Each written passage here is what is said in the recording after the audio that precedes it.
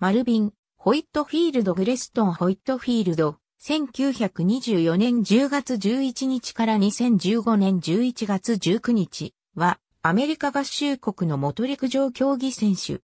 男子800メートルで、1948年ロンドンオリンピックから2大会連続で金メダルを獲得したことで有名。1924年にテキサス州で生まれたホイットフィールドは1943年に空軍に入隊する。第二次世界大戦後も空軍に在籍し、1950年代初頭には朝鮮戦争にも従軍している。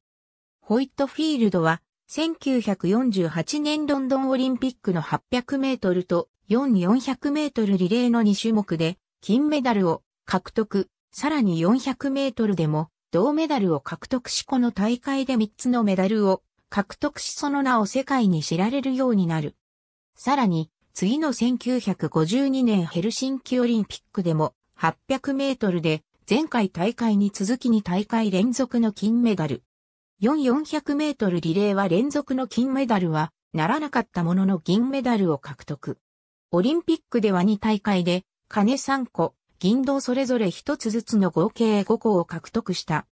ホイットフィールドのアメリカ国内の成績は、全米学生選手権では1948年で800メートル、翌年の880ヤードを制覇。さらに、AAU 選手権では1949年から1951年まで800メートルを3連覇。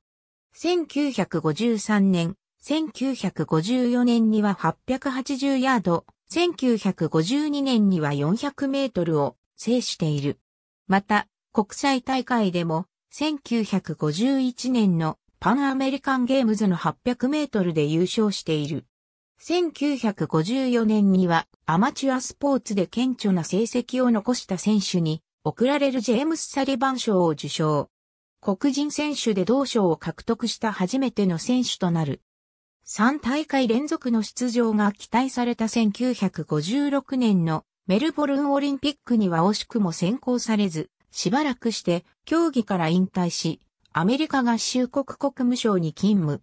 アフリカへのスポーツ指導の任務に就く。その後、エチオピアにランナーのためのトレーニング施設の運営に当たった。